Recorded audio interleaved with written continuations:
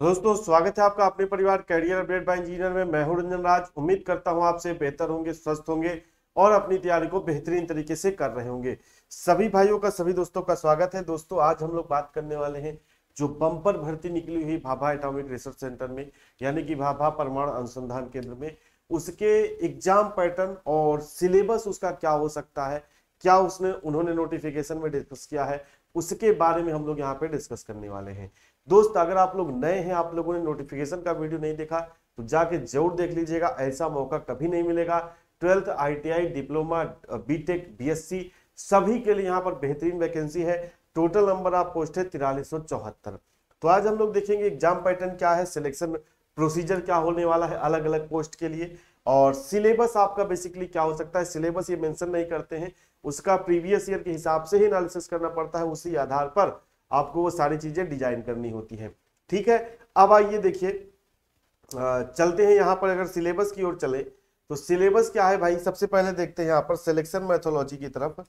तो सिलेक्शन जो मैथोलॉजी है, वो क्या है इसको देखते हैं। पहला क्या है, आपकी जो पोस्ट थी ट्रेनिंग ऑफिसर सी की, जिसमें आपका बेसिकली बीटेक कैंडिडेट अप्लीकेबल थे। बीटेक कैंडिडेट जो अप्लीकेबल थे, उनसे यहाँ पर मांगा गया था। थोड़ा सा इसको जूम कर लेते हैं। ये ठीक है, जो बीटेक कैंडिडेट थे उनसे मांगा गया था। तो इनका सिलेक्शन देखो टोटली क्या होना है? इंटरव्यू के बेसिस पर होना है। किसका? जो आपका ट्रेन टेक्निकल ऑफिसर सी की पोस्ट है, इसका जो पूरा सिलेक्शन है, वो किसके आधार पर होना है? इंटरव्यू के आधार पर। देन अगर आपके आगे बढ़े तो साइंटिफिक असिस्टेंट ठीक है एंड आपका स्टाइपेंडरी ट्रेनिंग कैटेगरी वन का जो सिलेक्शन प्रोसीजर है, सबसे पहले इसमें क्या होना है? कंप्यूटर बेस्ड स्क्रीनिंग टेस्ट होना है। यानी कि आपका सीबीटी टेस्ट होगा। कितने मार्क्स का होगा भैया? 40 40 40 क्वेश्चंस का। कितने क्वेश्चन यहाँ पर आएँगे? 40 क्वेश्चंस आएँगे। ठीक है? मल्टीपल चॉइस क्वेश्चन आएँगे और प्रत्येक प्रश्न के लिए आपको तीन मार्क्स यहाँ पर दिए जाएँगे। यानी कि टोटल पेपर कितने नंबर का हो गया? 120 नंबर का। 120 नंबर का जो पेपर होगा, उसमें आपका एक नंबर की निगेटिव मार्किंग रहेगी। यानी कि एक प्रश्न तीन नंबर का, उसके बाद एक नंबर की निगेटिव मार्किंग यानी कि निगेटिव मार्किंग कितने की हो गई? वन बाई थ्री की आपकी निगेटिव मार्किंग हो गई। देन इसके बाद ये वाला जो टेस्ट रहेगा, सिर्फ़ और सिर्फ़ कैसा रहेगा? स्क्रीनिंग टेस्ट रहेगा, यानी कि शॉर्ट लिस्ट करने के लिए, बच्चों को छाटने के लिए ये टेस्ट होता है। इसके बेस पर आपका सिलेक्शन नहीं होगा। सिलेक्शन किस बेस पर होगा? तो the syllabus for the set देखिए, ठीक है, यहाँ पे लिखा है one mark detected the syllabus for set examination will be based on subject at diploma या बीएससी यानी कि जो आपका ये स्क्रीनिंग टेस्ट होगा, इसमें पूछा क्या जाएगा? अगर आपका बीएससी है या डिप्लोमा है तो जो आपका डिप्लोमा में जैसे मैकेनिकल है तो मैकेनिकल से रिलेटेड प्रश्न है। बीएससी अगर आपने जिस भी आपके सब्जेक्ट से कर रखा है, जैसे फिजिक्स केमिस्ट्री से तो उससे प्रश्न रहेंगे। अब इसके बाद क्या होगा? Those candidate qualifying in screen test shall be short listed for interview यानी कि जो कैंडिडेट इसमें क्वालिफाइंग होते हैं उनको इंटरव्यू के लिए बुलाया जाएगा। अब देखिए आपको एक चीज़ यहाँ पे ध्यान रखनी है कि भाई इन्होंने स्टाइपेंडरी ट्रेनिंग कैटेगरी वन और साइंटिफिक असिस्टेंट बी के लिए कोई भी परसेंटेज नहीं दिया परसेंटेज नहीं दिया, इसका मतलब कि ये मेरिट तैयार कर सकते हैं। यानी कि यहाँ पे जो स्क्रीन टेस्ट है, इसके आधार पर ये क्या तैयार करेंगे? एक मेरिट तैयार करेंगे और देन उसके बाद जो ज़्यादा नंबर वाला बच्चा पाए जो ज़्यादा नंबर पाएगा कैंडिडेट उसको ये इंटरव्यू के लिए बुलाएँगे। क्यों? क्योंकि यहाँ पे किसी भी तरह का परसेंटेज नहीं दिया गया है कि भाई 40 परसेंट आप जो है ले आओगे तो आपका इंटरव्यू में सिलेक्शन हो जाएगा, जैसा कि स्टाइपेंडरी ट्रेनिंग कैटेगरी टू में है। तो आपको यहाँ पर प्रयास करना है कि ज़्यादा से ज़्यादा आपको नंबर लाना है, कोई भी इसका वेटेज नहीं मिलेगा आपको, आपका जो प्योर सिलेक्शन है फाइनल सिलेक्शन है, वो इंटरव्यू के बेसिस पे होना है। लेकिन आपको कम से कम इंटरव्यू में जाने के लिए इसमें अच्छा मार्क्स लाना होगा, बेहतरीन मेहनत करनी होगी क्योंकि इसमें कोई भी परसेंटेज क्राइटेरिया इनकी ओर से नहीं दिया गया है। अब अगर आगे बढ़े तो टेक्नीशियन बी और स्टाइपेंडरी ट्रेनिंग की बात करें टेक्नीशियन बी और स्टाइपेंडरी ट्रेनिंग कैटेगरी टू की बात करें तो यहाँ पे आपका तीन फ़ेज़ में सिलेक्शन होना है। पहला स्टेज वन है, फिर स्टेज टू है, फिर आपका स्टेज थ्री है। स्टेज वन आपका क्या है? प्रिलिमिनरी टेस्ट है प्रिलिमिनरी टेस्ट यानी कि इसके आधार पर छटनी करेंगे। जैसे कि देखिए the computer based test will be conducted on all India basis for stage one preliminary test and stage two advance test for concentrated in single session ध्यान से समझिएगा। पहला तो पहले क्या होता था? ऑफलाइन पेपर होता था। लेकिन यहाँ पर इन्होंने क्या कहा है? कंप्यूटर बेस्ड टेस्ट होगा। यानी कि आपका सीबीटी वन होने वाला है। सीबीटी वन प्रिलिमिनरी टेस्ट आपका सीबीटी वन होगा और स्टेज टू का भी आपका जो है सीबीटी होगा। क्यों? क्योंकि इन्होंने लिख रखा है। देन इसके बाद सिंगल सेशन की बात करते हैं, यानी कि एक ही दिन आपका दोनों टेस्ट हो जाएगा। प्री होगा, देन उसके बाद कुछ देर का गैप देंगे, दो से ढाई घंटे का, और उसके बाद आपका जो सेकेंड स्टेज का टेस्ट है स्टेज टू का टेस्ट है, वो भी आपका हो जाएगा। However the of stage two advance test will be carried out only for those candidate qualified in the stage one preliminary test यानी कि स्टेज टू वही बच्चों का कॉपी चेक किया जाएगा, या उन्हीं का मेरिट लिस्ट आएगा, जिन्होंने स्टेज वन क्या किया होगा, क्वालिफाई किया होगा। अब देखिए, सबसे पहले यहाँ पे क्या दिया इन्होंने? स्टेज वन का इन्होंने दिया भैया सिलेबस, ठीक है? स्टेज वन में मैथमेटिक्स के 20 क्वेश्चन आएँगे, साइंस के 20 रहेंगे, जनरल अवेयरनेस के 10 रहेंगे। अब मैं आपसे थोड़ा अपने एक्सपीरियंस के हिसाब से डिस्कस करना चाहूँ। तो भाई मैथमेटिक्स बहुत सिंपल रहता है, लेकिन इसमें एडवांस मैथ भी रहता है। बहुत सिंपल लेकिन अल्जेब्रा वगैरह के प्रश्न भी यहाँ पर रहते हैं। साइंस में क्या है? फिजिक्स और केमिस्ट्री में रहता है बायो से कोई प्रश्न नहीं रहता। एक दो प्रश्न ऐसे कहीं से पूछ लिया अलग से एसिड से पूछ लिया एसिड के पीएच मान से, या कोई हमारी जो जनरल बेसिक बायो साइंस है उससे एक आध दो प्रश्न पूछ लिया तो पूछ लिया नहीं तो प्रश्न कहाँ से पूछे जाते हैं? फिजिक्स और केमिस्ट्री से। फिजिक्स में जैसे कि आपका आ, लेंस हो गया आई हो गया रेटिना हो गया ठीक है? इसी तरीके से आपका क्या हो गया? जो मेज़रमेंट हो गया उससे प्रश्न रहते हैं तो आपको थोड़ा सा ध्यान देना है।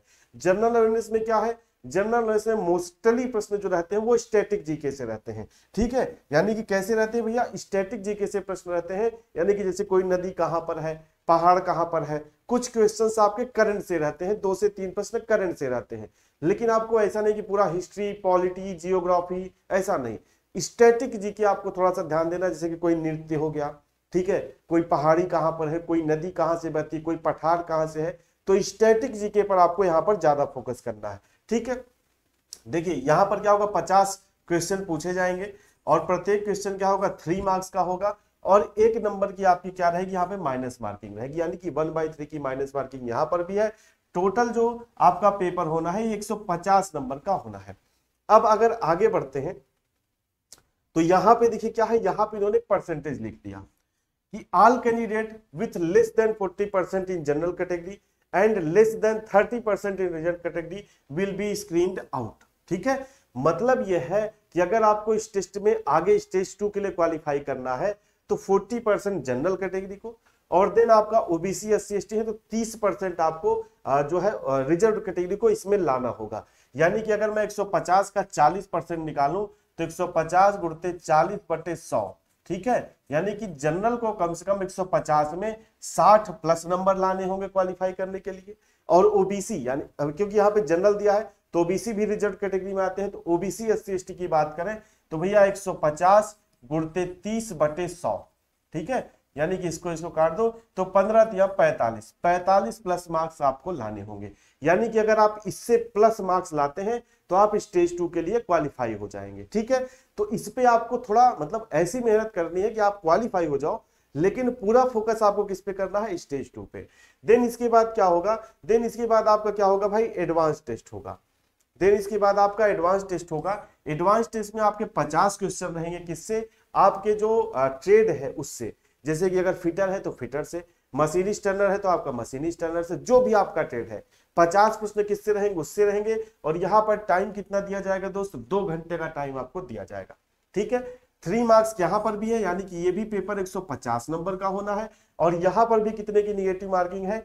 एक नंबर की निगेटिव मार्किंग है। अब इसमें आप जितना स्कोर करोगे, उसी आधार पर आपकी मेरिट बनेगी। देखिए क्या है? Merit list of candidate will be prepared after stage two based upon the score obtained in stage two only यानी कि अब आप क्वालिफाई करके प्री प्रिलिमिनरी एग्जामिनेशन उसको आप भूल जाओ। अब सारा जो मेरिट है सिलेक्शन का, वो स्टेज टू के आधार पर यहाँ पर बनने वाला है। ठीक है? अब यहाँ पे भी क्या है? All candidate with less than thirty percent in general category या लेस देन तो यहाँ पे भले लिखा है भाई लेकिन थर्टी परसेंट पर अब यहाँ सिलेक्शन नहीं होगा। यहाँ पर आप जितना ज़्यादा नंबर लाओगे, उस आधार पर आपकी क्या बनेगी? मेरिट बनेगी। ठीक है? देन इसके बाद आपका स्किल टेस्ट होगा। यहाँ पर लिखा है, the number of candidate shortlisted for skill test will depend upon the number of candidate qualifying in the stage 2 but will not exceed than 4 to 5 times यानी कि अब जितनी वैकेंसी है, उसका चार से पाँच गुना लोगों की ये शॉर्टलिस्ट करेंगे और उनको स्किल टेस्ट के लिए बुलाएँगे। ठीक है?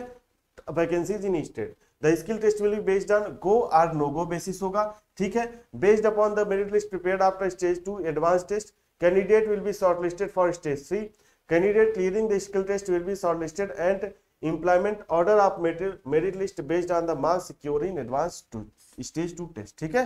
देन इसके बाद स्किल टेस्ट अगर आप क्वालिफाई कर लेते हैं तो उसके बाद आपका क्या होगा? स्टेज टू के आधार पर फाइनल मेरिट आपका यहाँ पर बना दिया जाएगा, ठीक है? ये टाई वाला है तो इसके चक्कर मत पड़ना। अगर आपका नंबर बराबर हो जाता है तो उसके आधार पर भाई जिसने कम निगेटिव मार्क्स किए होंगे, कम गलती की होगी, उसको ऊपर रखा जाएगा। कब? जब आपने स्कोर किसी दो कैंडिडेट का क्या हो जाता है? बराबर हो जाता है। तो कहीं ना कहीं अगर टाई स्कोर होता है तो वहाँ पे ये सारी चीज़ें इफ़ेक्ट डाल देती हैं। भाई आपने कम जो है गलती की है। ठीक है? आपने प्री में ज़्यादा मार्क्स लाया है। कब? अगर आपका स्कोर टाई हो जाता है। जैसे माने चलो एक कैंडिडेट है, इनका भी एक सौ चालीस दशमलव एक है और दूसरे कैंडिडेट में इनका भी एक सौ चालीस दशमलव एक है। तो कैसे डिसाइड करेगा? तब भाई ये देखेगा कि किसने कम गलती की है जो है उसमें किसने कम निगेटिव मार्क्स जो है जिसके हैं, किसने कम गलती की तो उसको सिलेक्ट कर लेगा अगर वहाँ भी दोनों में बराबर है तो उसके बाद देखेगा भैया किसने स्टेज वन में हाई किया है। तो जो हाई स्टेज वन में हाई किया होगा, उसको इन दोनों में से ले लेगा। कब की कंडीशन बता रहा हूँ मैं? जब आपके स्कोर बराबर हो जाएँगे एडवांस टेस्ट में। किसी दो कैंडिडेट के स्कोर बराबर हो जाएँगे एडवांस टेस्ट में तो ठीक है भाई? तो यही थी दोस्त अपडेट बाकी फॉर्म आपके अप्लाई होना शुरू हो चुके हैं। सभी लोग जाके फॉर्म को अप्लाई कर दीजिएगा। साथ ही साथ आ, अगर आप फिटर के बच्चे हैं ठीक है? अगर आप फिटर के बच्चे हैं फिटर ठीक है? Fitter machinist turner fitter machinist ठीक है? Turner diesel diesel mechanic MME welder. तो इससे रिलेटेड जो हमारे मास्टर कोर्स है, ट्रेड थियरी के, कोर मास्टर कोर्स, ठीक है, कोई भी एग्ज़ाम की तैयारी करो दोस्त, फुल सिलेबस तो आप ज्वाइन करना चाहते हो तो हमारे एप्लीकेशन पे जुड़ सकते हैं। एप्लीकेशन का लिंक आपको डिस्क्रिप्शन बॉक्स में मिल जाएगा। ठीक है भाई तो चलिए, आज की अपडेट यहीं तक रखते हैं। मिलेंगे नेक्स्ट अपडेट में। नई वीडियो के साथ। सेशन से जुड़ने के लिए आप सभी का बहुत बहुत धन्यवाद।